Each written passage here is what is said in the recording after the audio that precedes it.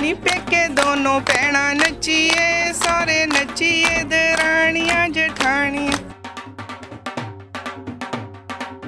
ਪੀੜੀ ਪਟੜਾ, ਚੁੱਲਾ ਚੌਂਕਾ, ਇਹ ਤ੍ਰਿੰਜਣਾ ਵਾਲਾ ਵੇੜਾ ਏ।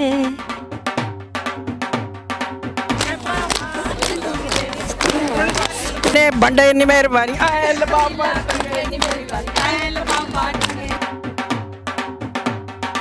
ਮੈਨੂੰ ਇਹਦਾ ਇਰਾਦਾ ਕੁਝ ਠੀਕ ਨਹੀਂ ਲੱਗਦਾ। ਘੋੜੀ ਦੇ ਬਹਿ ਕੇ ਨੱਠ ਤਾਂ ਹੋਣਾ ਨਹੀਂ। ਮੈਂ ਭੱਜ ਨੂੰ ਜੀ ਮੇਰਾ ਨਾਂ ਰਫਤਾਰ ਆ।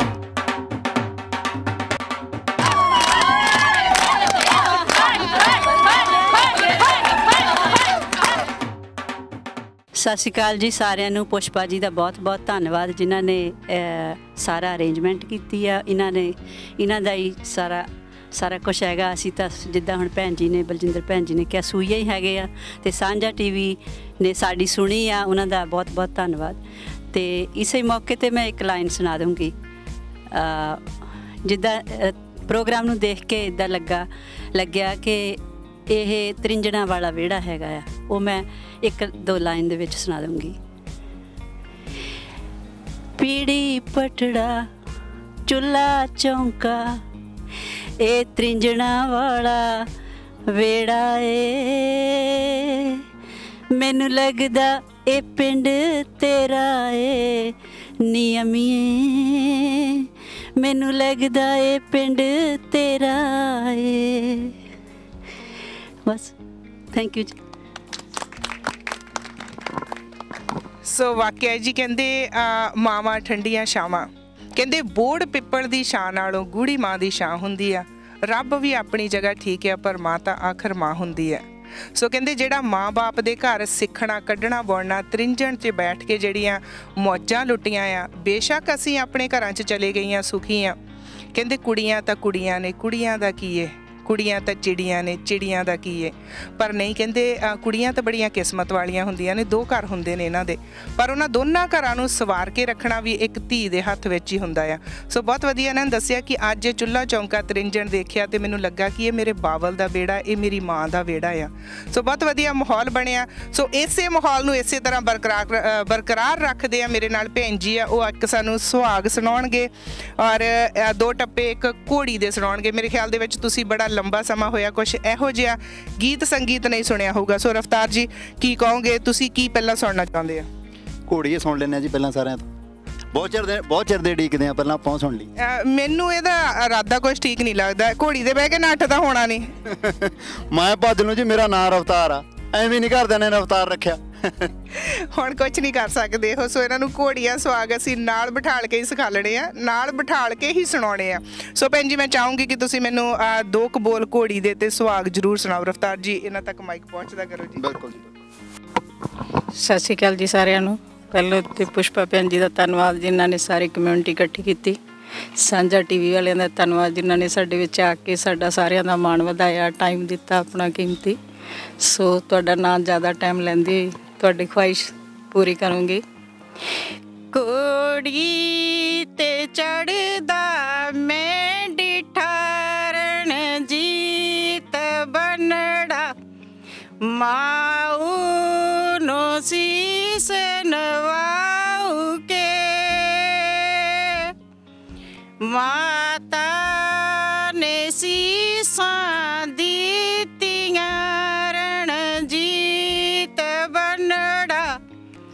ਜੀਵੋ ਤੇ ਬਰਖਰਦਾਰੀ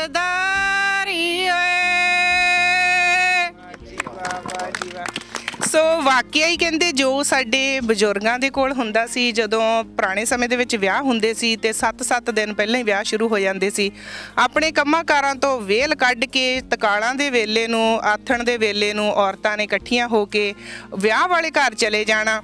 ਜਿੱਥੇ ਜਾ ਕੇ ਰਾਤ ਨੂੰ ਗਾਉਣ ਬੈਠਣਾ ਤੇ ਗੁਲਗਲੇ ਜਾਂ ਮਿੱਠੇ ਗੋਗਲੇ ਹਰ ਇੱਕ ਅਹ, ਕਹਿ ਲਓ ਕਿ ਏਰੀਆ ਦੀ ਵੱਖਰੀ ਬੋਲੀ ਆ।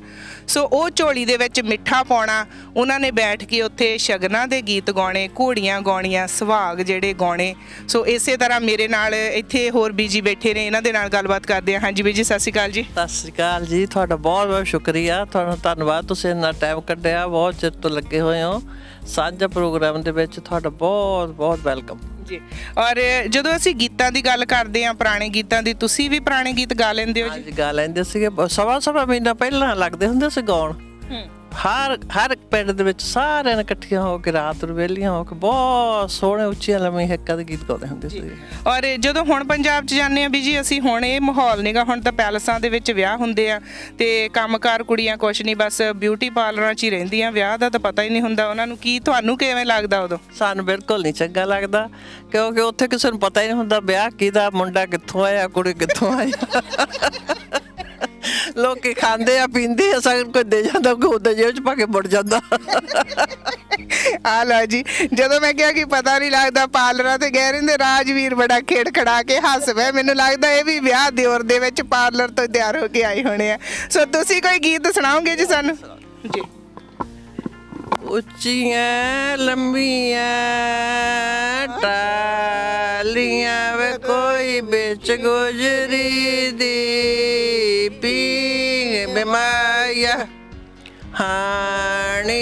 ਹਾਣੀ ਕੋਈ ਵਿੱਚ ਗੁਜਰੀ ਦੀ।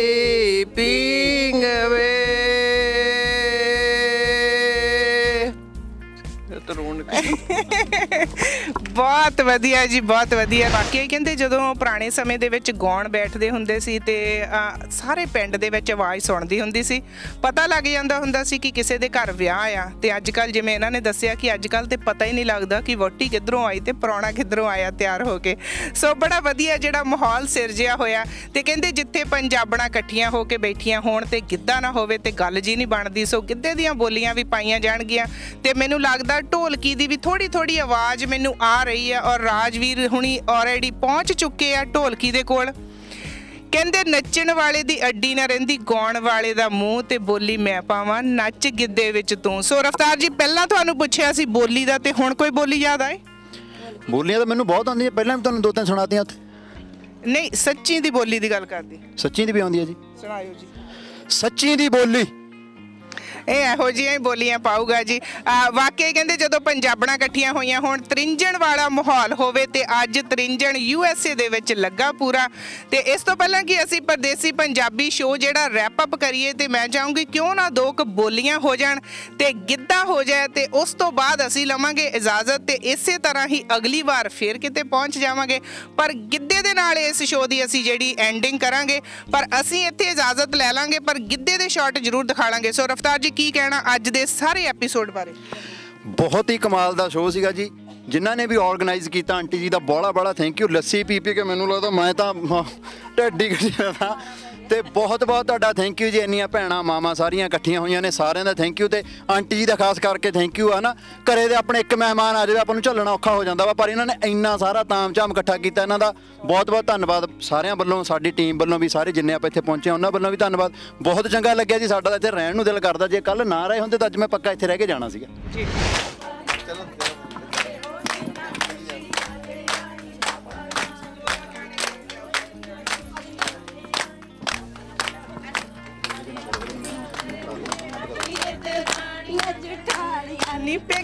ਦੋਨੋਂ ਪੈਣਾ ਨੱਚੀਏ ਸਾਰੇ ਨੱਚੀਏ ਦਰਾਣੀਆਂ ਜਠਾਣੀਆਂ ਕਦੀ ਨਾ ਰਹਿੰਦੀ ਬੋਲ ਵਾਲੇ ਦਾ ਮੂੰਹ ਨਹੀਂ ਬੋਲੀ ਮੈਂ ਪਾਵਾਂ ਨੱਚ ਗਿੱਦੇ ਵਿੱਚ ਤੂੰ ਨਹੀਂ ਬੋਲੀ ਮੈਂ ਨੇ ਬੰਡੇ ਨੀ ਮਿਹਰਬਾਨੀ ਆਏ ਲਬਾਬਾ ਆਏ ਲਫਾਫਾ ਟੰਗੇ ਨੀ ਮੇਰੇ ਵਾਰੀ ਆਏ ਪਤੀਲਾ ਕਰਕੇ ਨੀ ਮੇਰੇ ਵਾਰੀ ਆਏ ਪਤੀਲਾ ਕਰਕੇ ਨੀ ਮੇਰੇ ਵਾਰੀ ਆਏ ਪਤੀਲਾ ਦੀ ਜਰਵੇ ਤੂੰ ਨਾ ਸੁਣੀ ਤਾਂ ਮੈਂ ਇਲਤਾਂ ਦੀ ਜਰਵੇ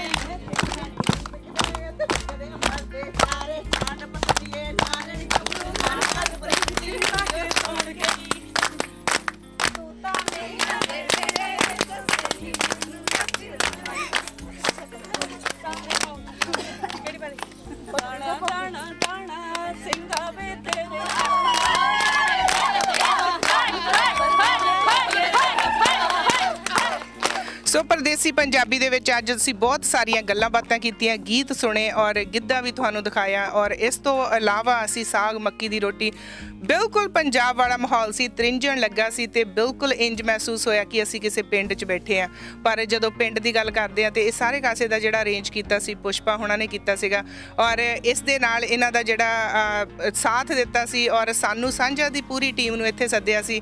ਮਨਜੀਤ ਕੌਰ ਗਿੱਲ ਭੈਣ ਜੀ ਸਾਡੇ ਨਾਲ ਨੇ, ਇਹਨਾਂ ਨੇ ਸਾਡਾ ਜਿਹੜਾ ਸਾਥ ਦਿੱਤਾ ਔਰ ਪੁਸ਼ਪਾ ਹੁਣਾਂ ਦੇ ਬੇਟੀ ਪਲਕੀ ਸਾਡੇ ਨਾਲ ਨੇ। ਹਾਂਜੀ ਥੈਂਕ ਯੂ ਜੀ ਸਤਿ ਤੁਹਾਡਾ। ਅਕਾਲ ਜੀ ਸਤਿ ਸ਼੍ਰੀ ਅਕਾਲ ਤੁਹਾਡਾ। ਥੈਂਕ ਯੂ ਤੁਹਾਡਾ ਤੁਸੀਂ ਆਏ। ਜੀ ਔਰ ਇਸ ਦੇ ਨਾਲ ਨਾਲ ਪੁਸ਼ਪਾ ਜੀ ਮੈਂ ਚਾਹੂੰਗੀ ਕਿ ਤੁਸੀਂ ਮੈਨੂੰ ਆਪਣੀਆਂ ਬੱਚੀਆਂ ਦੀ ਇੰਟਰੋਡਕਸ਼ਨ ਦਿਓ ਜੀ।